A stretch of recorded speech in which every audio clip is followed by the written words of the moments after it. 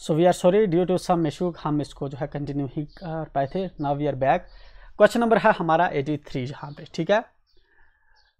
हीमियोस्टेसिस ठीक है ना? हीमियोस्टेसिस जो है, इसका क्या मतलब होता है, ठीक है? A tendency of an ecosystem to resist change and to remain in state of equilibrium ठीक है? आ, हमारा जो इकोसिस्टम होता है एक इसकी ऐसी टेंडेंसी ठीक है ना? कि ये किसी भी चेंज को जो है रजिस्ट कर पाए और अपना इक्विलिब्रियम मेंटेन करके रखे। बेसिकली ये डेफिनेशन है हमारी ह्यूमियोस्टेसिस की कि जो हमारे जो है एक अगर हम ह्यूमन की बात करें ठीक है ना? या एक प्लांट की बात करें तो ह्यूमोस्टेसिस एक ऐसी चीज़ होती है जो अपना स्टेटस जो होता है उसको मेंटेन करके रखता है ठीक है ना? A property of an ecosystem to withstand all kinds of environmental changes एक प्रॉपर्टी इकोसिस्टम की जो सभी चेंजेस को जो है विद स्टैंड करता है, एक characteristics of ecosystem to convert into changes of pollution तो ये वाला नहीं है। An ecosystem never respond to environmental change तो किसी भी चेंज को रिस्पॉन्ड नहीं करना, ठीक है ना? हेमोस्टेसिस बेसिकली क्या होता है? हम ह्यूमन की एग्ज़ाम्पल ही ले लेते हैं। फॉर एग्ज़ाम्पल ये ह्यूमन है, ठीक है ना? तो अगर ये ह्यूमन है सपोज़ करते हैं जहाँ पे इसका, ये बाजू है, जहाँ पे इसको एक छोटा सा जो है काट लगता है, ठीक है ना? अब जब इसको कट लगता है तो इसकी बॉडी क्या करती है? इसको रिकवर करती है, ठीक है ना? ऑटोमेटिकली इसको रिकवर करती है एंड मेंटेन जो है, जिस तरह पहले नॉर्मल था, वैसे चीज़ें लाती है। इस चीज़ को हम कहते हैं ह्यूमस्टेसिस ठीक है ना? तो बॉडी जो है रिस्पॉन्स करती है, जो इसके अंदर प्रॉब्लम जो इंट्रोड्यूस हुई है, उसको जो है ओवरकम करती है, अपना जो स्टेटस है, उसको वैसे ही मेंटेन करके रखती है। इस तरह से हमारा इकोसिस्टम भी करता है, ठीक है ना? अपना इक्विलिब्रियम का जो इसका स्टेटस है, वो मेंटेन करके रखता है, ठीक है? Then we have question number 84 है। ठीक है ना? बेसिकली ये वाला जो है आपको देखने को मिलेगा। अगेन इन्वायरमेंट से ये वाला क्वेश्चन आपको ले, लिया हुआ देखने को मिलता है। ये वाला भी इन्वायरमेंट से था, ये वाला भी है। यहाँ पे कुछ टर्म्स हैं। आटोकोलॉजी है सिनकोलॉजी है प्लीकोलॉजी है जीनिकोलॉजी है। ठीक है ना? हमें इनको मैच करवाना है कि कौन सा जो है, किस चीज़ के साथ जो है मिलता है। ऑटोकोलॉजी बेसिकली एक हमारी स्टडी होती है, जिसके अंदर हम इंडिविजुअल को स्टडी करते हैं इन्वायरमेंटल की रिलेशन में, ठीक है ना? तो इसके साथ फिर दिन बी वाला हमारा करेक्ट मैच करना चाहिए। देन उसके बाद हमारा होता है सिनकोलॉजी ठीक है ना? सिनकोलॉजी बेसिकली होता है प्लांट की कम्युनिटीज़ की स्टडीज़ इन्वायरमेंट के साथ, ठीक है ना? प्लांट को जो है एनवायरमेंट की जो है इस, इसके साथ जो है जब हम डील करके स्टडी करते हैं तो इसको कहते हैं सिनकोलॉजी देन हमारे पास उसके बाद है प्ले इकोलॉजी ठीक है ना? प्ली इकोलॉजी बेसिकली होता है हमारा कि लाइफ फॉर्म को हम स्टडी करते हैं जब ठीक है ना एनवायरनमेंट के साथ। तो ये वाला हमारा हो गया इसके साथ। फिर हमारे पास है जीन इकोलॉजी ठीक है ना, जब हम जो है इकोलॉजी को स्टडी करते हैं इन रिस्पेक्ट टू जेनेटिक्स तो ये वाला जो है इसके साथ ऑटोमेटिकली मीट मीट कर रहा है। तो अगेन इसका हमारा जो करेक्ट होगा, वो होगा ए वाला। Western ghats of India is known as जो इंडिया के वेस्टर्न घाट्स होते हैं, ठीक है ना उनको क्या कहा जाता है, ठीक है ना? दूसरे नाम से भी उनको जो है जाना जाता है, ठीक है ना? एंडमिक कवीन एंडमिक घाट एंडमिक होम बेसिकली इनको कहा जाता है एंडमिक क्रवन, ठीक है ना? तो 85 का है हमारा बी ठीक है ना? Then we have 86 question number 86 है हमारा। Find out the correct order of sequence of vertical structure of the atmosphere from lower to higher altitudes ठीक है ना, जहाँ पे जो है हमें डिफरेंट लेयर्स दे रखी है एटमॉस्फेयर की, जहाँ पे नीचे क्या होता है? अर्थ ठीक है ना? अर्थ के ऊपर जो सबसे पहली लेयर आपको देखने को मिलेगी, देखने को मिलती है ट्रोपोस्फेयर ठीक है ना? उसके ऊपर आप देखेंगे, जहाँ पे ये होती है ट्रोपोपास ट्रोपोपास के ऊपर होती है आपकी स्ट्रेटोस्फेयर जिसके अंदर होती है आपकी ओजोन लेयर भी, ठीक है ना? स्ट्रेटोस्फेयर के ऊपर आप देखेंगे, आपको कौन सी लेयर देखने को मिलती है? मीजोस्फेयर ठीक है ना? देन उसके बाद जो होती है आपकी चार सौ किलोमीटर तक एक्सटेंड ये होती है आपकी थर्मोस्फेयर थर्मोस्फेयर ठीक है ना? तो ट्रोपोस्फेयर, कौन सा करेक्ट हमारा बैठ रहा है इसमें? Troposphere, thermosphere. नहीं, थर्मोस्फेयर लास्ट पे होनी चाहिए यहाँ पे तो ए वाला हमारा करेक्ट है, ठीक है ना? ए हमारा यहाँ पे करेक्ट है, ठीक? Then we have question number 87 match list one correctly with list second and select your answer using codes below ठीक है ना?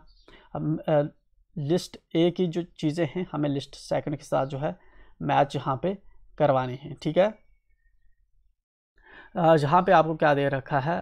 सॉइल प्रोफ़ाइल एक दे रखी है, ठीक है?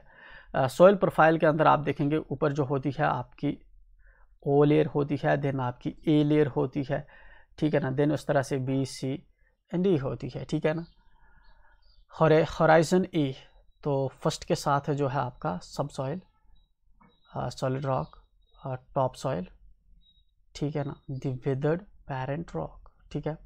तो जहाँ पे इसके साथ जो है हम सी वाला मैच कर देंगे ठीक है ना?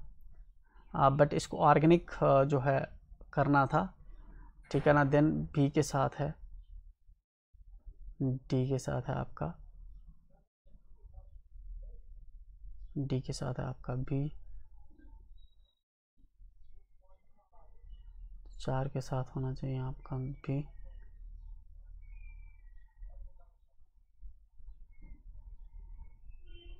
बी के साथ होना चाहिए चार, ए के साथ होना चाहिए तीन।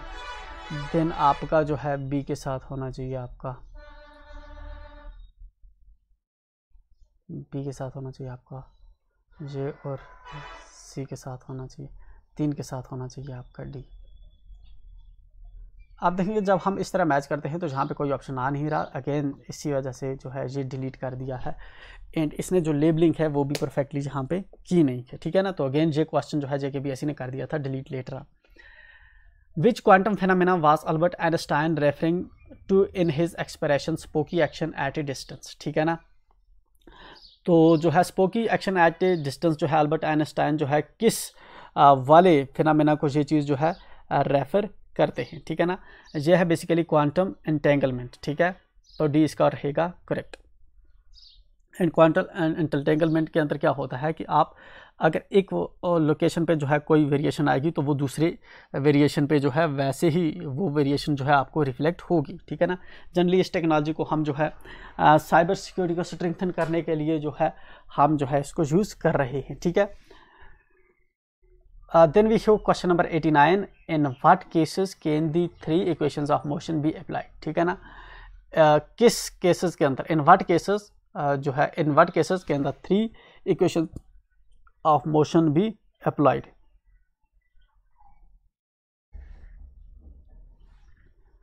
ठीक है इन वन डायमेंशनल मोशन फिर है इन सर्क्यूलर मोशन ठीक है, फिर है आपका simple harmonic motion when acceleration is constant जब एक्सेलरेशन कंस्टेंट होगी तो इस पे जो है, तीनों इक्वेशन जो मोशन की हैं, उनको अप्लाई कर सकते हैं। इन केस में नहीं, इस केस में नहीं, इस केस में नहीं, ठीक है ना?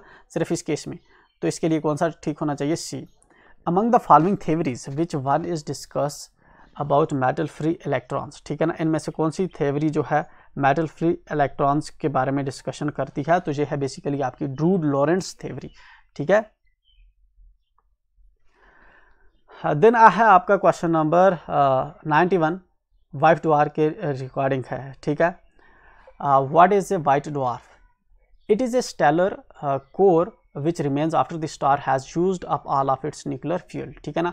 वाइट डुआर uh, uh, बचता है जब हमारा एक स्टार जो होता है ठीक है ना? पूरी तरह से जो है uh, वो अपना फ्यूल यूज़ कर जाता है तो बाद में जो उसका बचता है बीच में पार्ट उसको हम वाइट डुआर्फ कहते ठीक है ना? It is an explosion of a star नहीं इसके एक्सप्लोजन को नहीं कहते। They are compact magnetize rotating stars it is extremely luminous activities ये वाला नहीं। तो जहाँ पे ए आपका करेक्ट रहेगा। देन है आपका क्वेश्चन नंबर नाइन्टी टू ठीक है? On which of the following planet does the sun rise in the west sun किसमें uh, जो है वेस्ट में जो है राइज करेगा। ठीक है ना? सन uh, uh, जो है वेस्ट करेगा राइज करेगा किसमें? बी में। क्योंकि इसकी मूवमेंट जो है वो रेट्रोगैड इसकी मूवमेंट होती है, ठीक है? Then we have question number 93 ठीक है? What does eutrophication refer to ठीक है? यूट्रोफिकेशन किस चीज़ को जो है रेफर करता है? बेसिकली यहाँ पे हमारी एक लेक है वाटर बॉडी है। इसके अंदर बहुत से न्यूट्रंट्स जब जो है आ जाते हैं फॉस्फोरस हो नाइट्रोजन हो, ठीक है ना? नाइट्रेट्स वगैरह जब आते हैं, ठीक है ना? ह्यूमन एक्टिविटीज़ वगैरह जिस तरह से भी जो है स्पिल करके ग्राउंड से जब इसके अंदर आ जाएँगे। जब इसके अंदर न्यूट्रंट्स बहुत ज़्यादा होंगे तो इसके अंदर फाइटोप्लांक्टन्स वगैरह जो है बहुत ज़्यादा ग्रो करना शुरू करेंगे। अगर ऊपर ग्रो करना शुरू करेंगे, जिस तरह से फाइटोप्लांक्टन्स वगैरह ग्रो करेंगे तो इस तरह से इनको जो है पानी के अंदर ऑक्सीजन की भी ज़्यादा ज़रूरत है। अगर ऑक्सीजन ये ज़्यादा कंज्यूम करना शुरू करेंगे तो नीचे डीप जो स्पीशीज़ रह रहे हैं, उनके लिए जो है ऑक्सीजन एक तो कम बचेगा। ऊपर से जो सनलाइट है, वो भी जो है इन फाइटोप्लांक्टन्स की वजह से ऊपर से ब्लॉक हो जाएगी। तो इस सिचुएशन को हम कहते हैं यूट्रोफिकेशन की। Natural ageing of a lake by nutrient enrichment of its water. Nutrient enrichment होती है जब इसके वाटर की तो इसको जो है एजिंग हम लेक की कहते हैं क्योंकि अब इसके अंदर जो स्पीशीज़ हैं वो नीचे वाली स्पीशीज़ वो कम रहते हैं नहीं रह पाते ठीक है? आ, तो वजह क्या होती है? यही होती है न्यूट्रॉन्स एंड इसकी वजह से ऊपर जो फाइटोप्लैंक्टन्स वगैरह हैं वो ग्रो कर जाते हैं। By what factor is the electromagnetic force stronger than the gravitational force ठीक है ना? इलेक्ट्रोमैग्नेटिक फोर्स जो होती है ठीक है ना? कितने फैक्टर से जो है ग्रेविटेशनल फोर्स से जो है ज़्यादा स्ट्रांगर होती है, ठीक है ना? ये होती है basically ten raise to the power thirty six से तो डी होना चाहिए हमारा करेक्ट देन है हमारा क्वेश्चन नंबर नाइन्टी फाइव ठीक है? Which of the following is not true about the D about the structure of DNA DNA के स्ट्रक्चर के बारे में जहाँ पे कौन सी चीज़ जो है, हम आपको ट्रू जहाँ पे देखने को नहीं मिलेगी। हमें जो है नॉट ट्रू जहाँ पे बताना है डीएनए स्ट्रक्चर के रिगार्डिंग ठीक है? पहला DNA double standard helix with sugar phosphate as backbone. ठीक है ना? शुगर फॉस्फेट इसका बैकबोन का काम करता है एंड डबल स्टैंडर्ड हेलिक्स होता है ये इस तरह से। ठीक है ना? तो ये वाला पहला जो है, ये करेक्ट है। DNA is always a right handed helix नहीं, हमेशा राइट हैंडेड हेलिक्स नहीं होता। D N A strands run in opposite direction तो ये वाला करेक्ट है। अपोजिट डायरेक्शन में ये रन करते हैं। DNA has both major and minor grooves ये भी करेक्ट है। मेजर और माइनर क्रूज यहाँ पे होते हैं। तो इनकरेक्ट कौन सा हमारा बी तो बी हमें इनकरेक्ट बताना था तो बी हमारा इसका होगा answer then we go question number 96 ठीक है ना? जर्मन सिल्वर जर्मन सिल्वर जो एलॉय है, ठीक है ना? ये किस चीज़ से बनता है? ये बनता है बेसिकली कॉपर जिंक और निकल प्योरली फैक्चुअल वन है कॉपर जिंक और निकल से जो है आपका बनता है कौन? कौन बनता है आपका? जर्मन एलॉय ठीक है? Then we go question number 97 ठीक है? The growth in response to touch stimulus is called as ठीक है ना? टच स्टिमुलस के रिस्पॉन्स में जो ग्रोथ होती है, इसको, ठीक है? प्लांट्स के अंदर से वाली जो ग्रोथ होती है, इसको क्या कहा जाता है?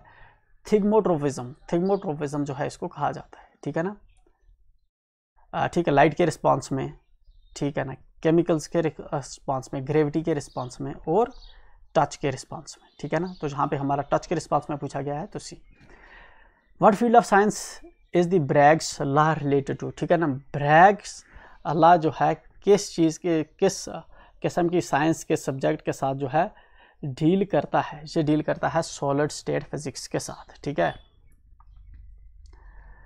What is India share of global species diversity India की जो ग्लोबल स्पीशीज़ की डाइवर्सिटी है वो आप देखेंगे अराउंड फोर परसेंट है। तो this one is the correct one plants that grow in water are called hydrophytes वो प्लांट्स जो पानी के अंदर ग्रो करते हैं, उनको हाइड्रोफाइट्स कहते हैं। What name is given to plants that grow in desert condition जो डेजर्ट कंडीशंस के अंदर ग्रो करेंगे, हम उनको कहेंगे ज़ीरोफाइट्स ठीक है? तो ये हो गया हमारा जो है लास्ट क्वेश्चन जिसका आंसर है बी इसके साथ ही हमारा जो जे के पी एस सी का सी एस सी प्रेलम्स का जी एस वन का पेपर था 2021 का, इसको हमने कर दिया कंप्लीट अब जो हमारा जी एस इसका सेकंड है, उसको हम करेंगे नेक्स्ट वीडियो में। टिल देन मेक श्योर आप चैनल को सब्सक्राइब करें। दोस्तों के साथ शेयर करना ना मिले मिलते हैं नेक्स्ट वीडियो में। Till then enjoy